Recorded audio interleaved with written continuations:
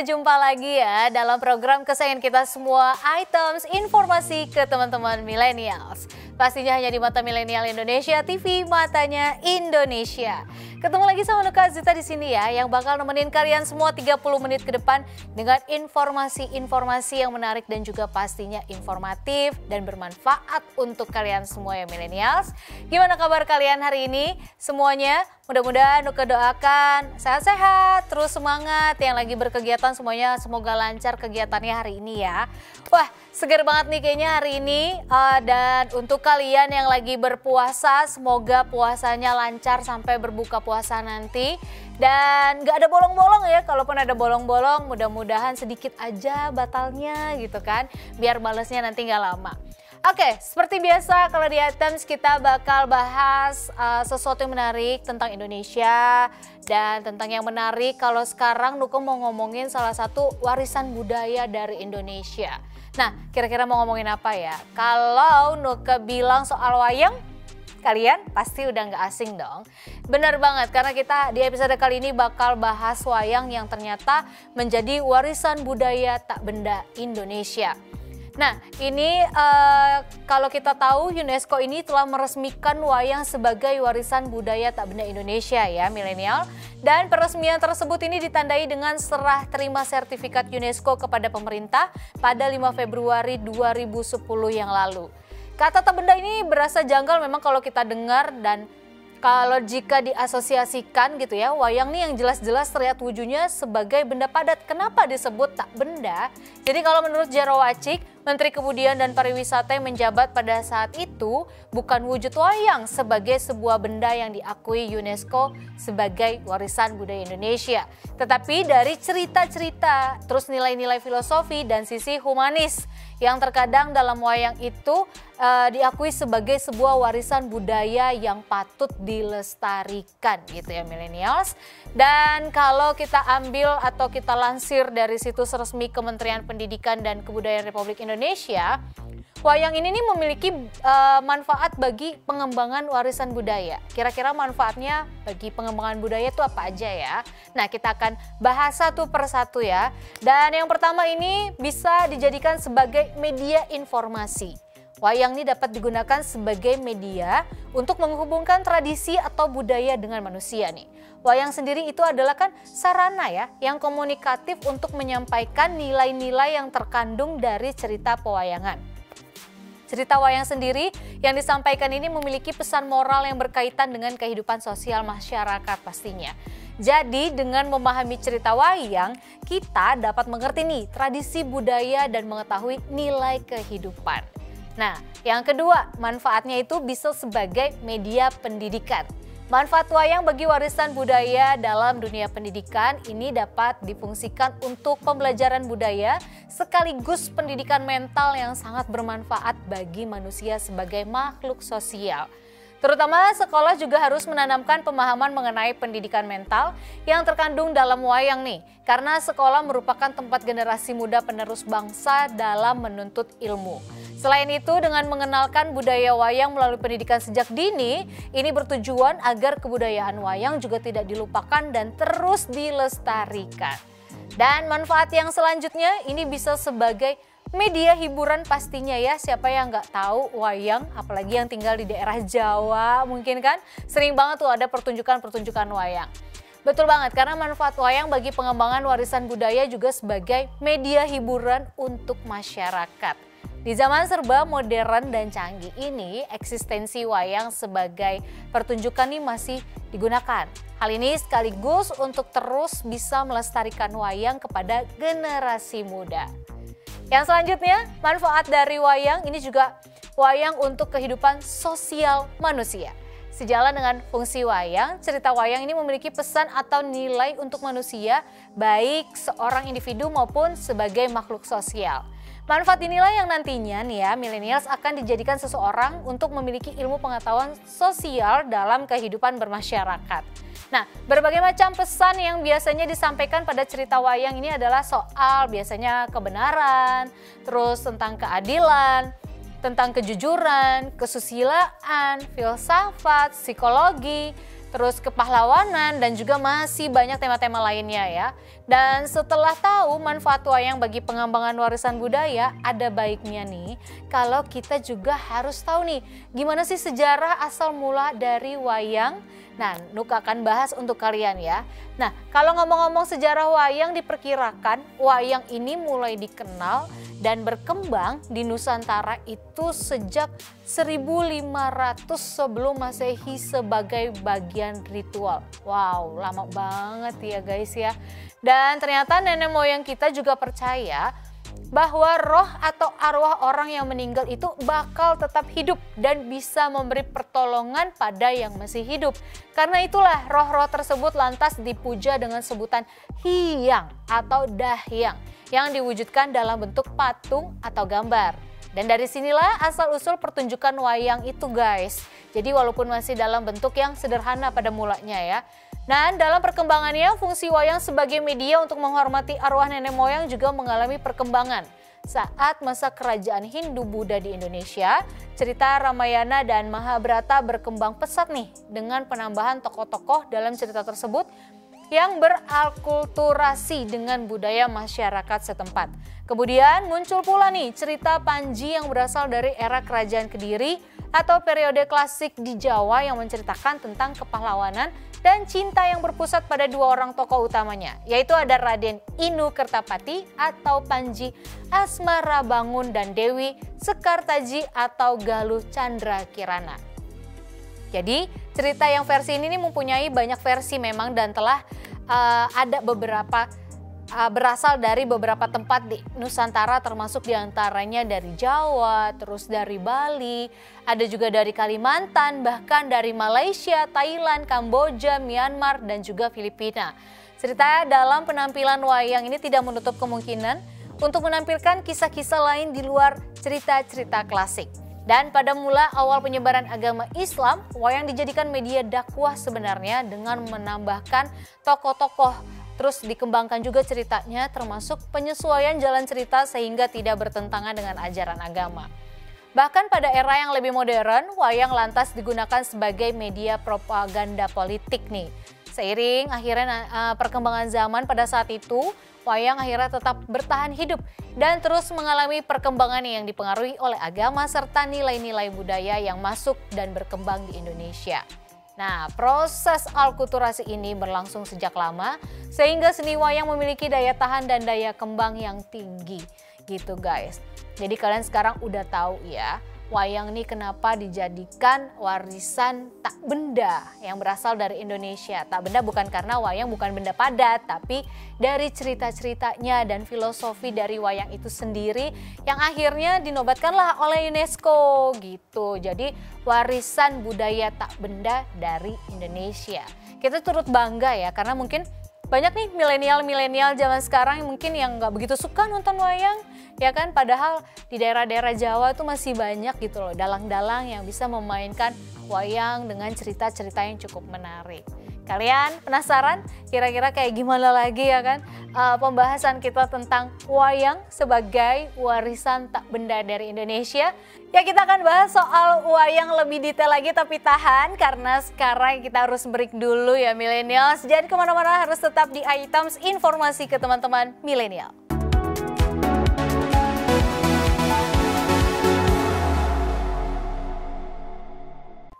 Halo millennials, kita balik lagi ya masih di items informasi ke teman-teman millennials. Nah, masih sama Nuka Zita juga di sini yang masih nemenin kalian semua untuk memberi informasi seputar wayang yang dijadikan warisan budaya tak benda dari Indonesia. Nah, kalau tadi kita udah bilang atau udah menjelaskan tentang sejarah dari wayang dan juga manfaat wayang di kehidupan sosial, kalau sekarang Nuko mau ngasih tahu kalian tentang jenis-jenis wayang. Kira-kira ada apa aja ya? Oke, kita bahas satu persatu sekarang. Yang pertama, jenis wayang ini ada wayang kulit. Nah, ini tuh wayang yang terbuat dari kulit binatang seperti sapi maupun kerbau. Nama lain dari wayang kulit sendiri adalah wayang purwa ya milenial. Purwa sendiri berasal dari bahasa Sangsekerta Parwa yang berarti bagian dari buku Mahabharata. Diperkirakan wayang kulit ini sudah ada sejak abad ke-11 di masa pemerintahan Raja Airlangga. Cerita yang dibawakan oleh wayang kulit diadaptasi dari kitab Mahabharata dan juga Ramayana nih. Tapi Alur cerita yang berkembang ini dipertunjukkan wayang kulit kemudian disesuaikan dengan suasana dan kepribadian masyarakat Indonesia. Wayang kulit sendiri terdiri dari beberapa gaya atau cagrak sebutannya ya. Misalkan nih ada cagrak Kasunanan, terus Mangkunegara, Ngayogyakarta, Banyumasan, Jawa Timuran, Kedu, Cirebon dan masih banyak lagi sebagainya. Gitu ya millennials. Dan yang kedua ada jenis wayang beber yang merupakan jenis wayang tertua di Indonesia dan diperkirakan telah ada sejak 1223 Masehi atau saat zaman Kerajaan Jenggala. Nama wayang beber sendiri ini diambil dari cara memainkannya, yaitu dengan melukis adegan di kain yang dapat digulung dan dibuka atau dibeber. Nah itu maksudnya. Jadi saat nanti ada adegan-adegan di wayang uh, beber berlangsung akan diiringi oleh gamelan. Nah, wayang beber dulu menceritakan tentang kisah dari Mahabharata dan Ramayana. Tapi, seiring berjalannya waktu, wayang ini menceritakan kisah sesuai dengan masanya saat ini gitu. Jadi mulai dari kisah raja-raja di Jawa, terus sampai uh, tentang kehidupan sehari-hari dan juga Eh, nggak uh, luput dari mengkritisi kondisi masyarakat pada saat ini gitu jadinya ya. Jadi disesuaikan dengan zamannya. Oke, selanjutnya kita punya jenis wayang wong. Nah, kalau dilihat kok wong ya, wong tuh apa? wong tuh adalah kata dalam bahasa Jawa yang artinya orang ya, milenial. Jadi sesuai dengan penamaannya, wayang ini dimainkan oleh manusia yang berperan untuk setiap tokoh dalam suatu lakon cerita seperti ada seni peran atau teater tradisional. Wayang orang pertama kali muncul pada abad ke-18 di Solo dan dicetuskan oleh Kanjeng Gusti Pangeran Adipati Arya Mangkunegoro pertama. Wayang orang terinspirasi dari seni drama yang berkembang di Eropa pada saat itu. Jadi uh, ada keinginan dari Mangkunegoro pertama inilah yang pada akhirnya mendasari terwujudnya nih pertunjukan wayang orang. Nah, sedangkan kalau dalang dalam pertunjukan wayang orang ini berperan sebagai sejenis sutradara kali ya. Kalau wayang kulit kan dalangnya dimainkan gitu, kalau ini kayak sutradara yang mengarahkan si peran ini harus seperti apa. Jadi dan sumber ceritanya juga dibawakan adalah seperti biasa, nggak jauh-jauh dari Ramayana dan juga Mahabharata. Serta pertunjukannya diiringi musik gamelan juga gitu. Oke, yang selanjutnya ada jenis wayang gedok gitu. Nah ini memiliki bentuk seperti wayang kulit tapi terbuat dari kayu. Nah magedok sendiri ya milenials ini kalau diartikan adalah kandang kuda. Kok ya bisa ya dari kandang kuda ke wayang gedok gitu. Nah, nah disebut wayang gedok nih karena memang banyak tokoh-tokoh dari cerita wayang ini yang memiliki nama dengan kata kuda. Contohnya Panji Kuda Waneng Pati. Terus ada juga wayang gedok ini biasanya menceritakan kisah di zaman Kediri dan Jenggala atau cerita Panji. Wayang Gedok sendiri memiliki spesifikasi unik dalam hal cerita maupun lakon yang dipergelarkan ya. Dan bentuk boneka wayangnya juga unik sendiri, terus maupun penggunaan gending dan juga sulukan di pertunjukannya. Wayang Gedok diperkirakan muncul pada abad ke-15 dan hal ini merujuk dari keterangan Serat Centini. Pada masa pemerintahan Pakubuwana ke-10 di Surakarta, wayang gedok ini pernah mengalami perkembangan yang cukup signifikan, cukup signifikan maksud Nuke ya. Jadi wayang gedok saat itu kerap dipergelarkan pada berbagai upacara di keraton bersamaan dengan pertunjukan wayang purwa. Selanjutnya, kita punya jenis wayang golek nih. Kayaknya udah nggak asing kalau kita ngomong wayang golek, wayang golek gitu kan. Karena wayang golek ini merupakan wayang yang terbuat dari kayu yang dikombinasikan dengan kain untuk pakaiannya. Wayang golek sendiri diperkirakan telah ada sejak abad 17 serta merupakan pengembangan wayang kulit. Jika wayang beber dan wayang purwa lebih banyak tersebar di daerah Jawa bagian timur dan juga tengah, maka kalau wayang golek ini lebih banyak tersebar di kawasan Jawa Barat.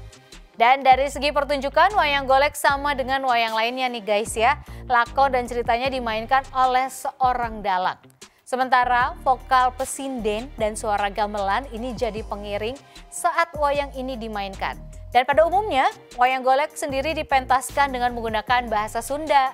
Jadi kalaupun ada pun pakem dan jalan cerita wayang golek, itu bakalan sama dengan wayang kulit ya guys. Jadi nggak jauh beda. Cuman bentuknya aja yang mereka agak beda gitu kan. Contohnya mengambil cerita dari Ramayana dan Mahabharata. Tapi kalau seiring dengan berkembangannya zaman, wayang golek ini tidak hanya menceritakan kisah Ramayana dan Mahabharata aja, tapi juga menceritakan kisah-kisah bernuansa Islam sampai juga tentang cerita kehidupan kita sehari-hari gitu. Jadi udah lebih realistis sekali ya, karena melihat kehidupan sekitar seperti apa bisa menjadi temanya. Oke, selanjutnya kita punya jenis wayang kritik Nah, wayang kritik ini juga biasa disebut dengan wayang krucil karena memang ukurannya yang cukup kecil-kecil ya millennials. Dan wayang kritik ini biasanya menceritakan cerita pada zaman Majapahit atau Menak. Wayang kritik merupakan wayang khas Kabupaten Blora, Jawa Tengah. Selain dari segi bentuknya yang berukuran lebih kecil, wayang kritik ini memiliki perbedaan dengan wayang jenis lainnya dalam aspek bahan. Kalau wayang krucil ini terbuat dari kombinasi kayu dan juga kulit sapi. Gitu millennials. Selanjutnya kita punya jenis wayang suket. Wah, ini terbuat dari suket atau rumput dalam bahasa Jawanya ya. Jadi beberapa helai rumputan ini bakal dikumpulkan nantinya, terus kemudian disusun, dililit, diikat, dan dibentuk seperti figur-figur wayang kulit. Diketahui juga kalau wayang suket ini digunakan sebagai alat permainan dan media penyampaian cerita pewayangan untuk anak-anak. Karena memang bahan pembuatannya itu tadi ya, dari rumput serta wayang suket juga nih lumrahnya memang kurang awet. Jadi kayaknya cepat rusak mungkin ya karena bahan pembuatannya dari rumput-rumput yang sudah dikeringkan itu gitu. Selanjutnya kita punya jenis wayang suluh nih. Nih wayang yang merupakan uh, dibuat mirip dengan manusia, termasuk juga cara berpakaiannya. Wayang Sulu ini ada sejak zaman penjajahan Jepang yang bermaksud memberikan penerangan atau penyuluhan kepada masyarakat saat itu. Sumber cerita pada wayang ini diambil dari zaman berdirinya Indonesia dan masa perang kemerdekaan. Wayang Sulu kemudian berkembang di masa revolusi kemerdekaan sebagai alat propaganda yang mendukung perjuangan rakyat Indonesia ya millennials jadi bentuk toko-toko di wayang Solo ini sengaja dibuat uh, mirip, realistik gitu kan. Mirip banget deh pokoknya sama manusia yang digambar miring dan diberi uh, pegangannya itu seperti wayang kulit gitu. Kalau dari segi potongan maupun pakaian, bentuk toko di wayang Solo ini agak menyerupai orang dalam kehidupan sehari-hari. Sedangkan ceritanya diambil dari cerita kekinian sesuai era kehadirannya. Karena memang pementasannya juga mengusung cerita-cerita yang dekat dengan masyarakat pada eranya, ia dapat dikatakan sebagai wayang sandiwara yang kemudian dinilai cocok menjadi alat perjuangan. Wah, keren ya, makanya gak heran kalau wayang ini dinobatkan UNESCO menjadi warisan uh, budaya tak benda yang berasal dari Indonesia. Karena memang kalau kita lihat Indonesia nih budayanya cukup banyak gitu kan. Terus setiap daerah memiliki budaya masing-masing. Bahkan wayang ini juga uh, tadi jenisnya banyak banget gitu. Jadi nggak heran kalau kita harus bangga dengan wayang uh, kebudayaan asli Indonesia. Oke, Nuka harus break dulu.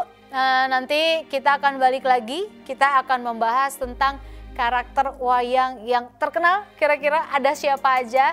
Jangan ke mana-mana tetap di items informasi ke teman-teman millennials.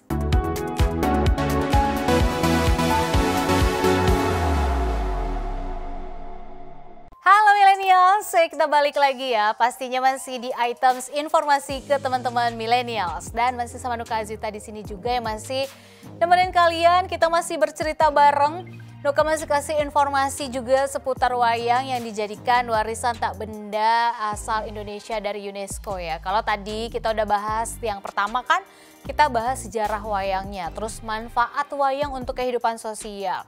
Terus tadi juga kita udah bahas jenis-jenis wayang ada apa aja sih ternyata kita taunya selama ini mungkin wayang kulit aja gitu kan atau wayang golek aja ternyata banyak jenisnya selain dua wayang tersebut gitu. Dan sekarang uh, Nuka mau ngasih tahu kalian nih tentang karakter-karakter wayang yang cukup terkenal gitu kan. Apalagi kalau kalian yang hobi nih mungkin nonton wayang kulit pastikan wah ini ada si Arjuna, ini ada si siapa siapa siapa. Kita bahas satu-satu. Nah, tokoh yang pertama ini ada Arjuna. Karakter ini memang tentunya udah nggak asing lagi di telinga kita ya, apalagi di telinga masyarakat Indonesia khususnya. Karena Arjuna memang terkenal sebagai karakter wayang yang tampan dan juga pesonanya yang begitu memikat banyak wanita. Karakternya di sini bahkan dinilai oleh banyak pakar budaya Jawa nih sebagai prototipe ideal kasatria Jawa tuh seperti Arjuna ini pokoknya. Nah, saat kecil Arjuna ini dipanggil dengan nama Permadi yang merupakan anak bungsu dari Prabu Pandu dan Dewi Kunti.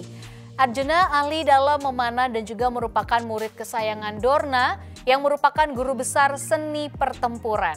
Arjuna memiliki beberapa senjata dan mata panah sakti ya. Senjata panahnya yang paling terkenal adalah Arda Dedali yang memiliki kemampuan mendeteksi gen sehingga panahnya tidak akan melukai orang dalam garis keturunan Arjuna. Keren ya kalau di dunia nyata kayak gini. Ya, sementara itu panah Pasopati miliknya ini dapat mengenai sasarannya dengan tepat. Meskipun pandai berperang dan seorang satria, Arjuna di sini nih memiliki sifat yang cukup lembut. Ia menjadi simbol kelembutan yang mampu mengalahkan hawa nafsu yang dicerminkan dari sifat kasar dan brutal. Selanjutnya kita punya karakter wayang lainnya yaitu Gatot Kaca. Aduh Nuka yakin ini kalian juga semua pasti udah paham dan udah sering dengar nama Gatot Kaca ya. Karena memang namanya nih sudah melekat banget di telinga orang Indonesia bahkan semakin terkenal ketika karakter Gatot Kaca ini muncul dalam film Star Trek Discovery dan menjadi karakter dari game daring Mobile Legends Bang Bang. Nah, Gatot Kaca merupakan putra dari Bima atau Wekudara dan juga Dewi Arimbi. Ia merupakan tokoh yang terkenal dengan sebutan Satria Otot Kawat Tulang Besi. Saking kuatnya kali ya guys.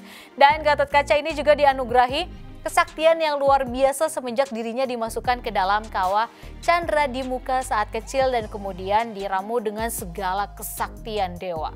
Di samping itu, ia juga memiliki kemampuan terbang tanpa terdeteksi oleh lawan, kekebalan, serta dapat menghancurkan siapa pun yang dihantamnya. Gatot Kaca merupakan penggambaran tokoh sempurna dari seorang prajurit. Dia selalu berada di barisan terdepan dalam hal bela negara ya. Namun tidak pernah menuntut ataupun uh, menuntut apa pun yaitu sebagai imbalannya dia tuh nggak pernah gitu. Hal ini membuat akhirnya karakternya ini menjadi contoh teladan sebagai seorang abdi terhadap negara. Selanjutnya kita punya karakter Bima. Nah, kalau Bima atau Werkudara ini adalah sosok yang juga digambarkan sebagai ksatria yang sangat-sangat ideal karena dia merupakan kakak seibu dan seayah dari Arjuna, juga dari ayah eh, Gatot Kaca. Dan yang diwujudkan sebagai petarung yang memiliki tubuh yang besar, terus berotot dan juga atletis pastinya ya. Berbeda sekali nih kalau dengan Arjuna, Bima ini terkenal sebagai petarung yang sadis dan brutal ketika berhadapan dengan Kurawa. Meski seperti itu, Bima memiliki sifat penyayang dan rela berkorban. Dan dia juga terkenal jujur, tabah, patuh, setia, berani, dan juga kuat nih. Kalau dalam bertarung, Bima ini memiliki kekuatan fisik yang tak terbatas serta kerap memegang senjata, gada rujak polo, dan Bargawa yang diwujudkan sebagai kapak besar milik dia. Sedangkan kalau gada rujak polo itu sendiri adalah palu besar layaknya kepunyaan Thor yang dapat bertambah besar, berat, dan kuat apabila diadu dengan senjatanya lawan. Karakter selanjutnya kita punya karakter Anoman. Nah, kalau tokoh Anoman ini milenial terkenal banget dalam perannya dalam membantu Rama menyelamatkan Dewi Sinta yang diculik oleh Raja Alengka Rahwana ya. Rupanya adalah seekor kera putih kalau di sini yang memiliki kemampuan setara dengan dewa dan kehidupan yang kekal karena dia juga dapat menentukan ajalnya sendiri. Aduh keren banget ya jadi dia bisa tahu ajalnya kapan maunya gitu kan. Dan tidak hanya itu, layaknya karakter Flash, Anoman memiliki keahlian untuk bergerak dan berpindah secara cepat yang biasa disebut sebagai sepi angin. Sebagai anak angkat Batara Ayu, Anoman ini mewarisi kekuatan yang dimiliki setiap keturunan dan anak angkat sang dewa. Salah satunya adalah dapat menghancurkan apa pun dengan kekuatan Aji Mundri. Dan selain kuat, Anoman juga dikenal memiliki watak yang pemberani, setia dan juga pastinya waspada. Jadi meski wujudnya adalah seekor kera putih, ia tetap berbudi pekerti baik, terus terkenal juga dengan karakter yang rendah hati, tabah, dan patuh terhadap istiadat layaknya seorang manusia. Selanjutnya kita punya karakter yaitu uh, Kresna. Jadi Prabu Kresna ini merupakan titisan Batara Wisnu yang dipercaya sebagai penjaga ketertiban dunia ya. Sebagai titisan ini dia memiliki beberapa kekuatan nih yang dimiliki dari para dewa. Satu yang paling terkenal adalah kemampuan Triwikrama yang akan menjadikannya sebagai sosok raksasa besar.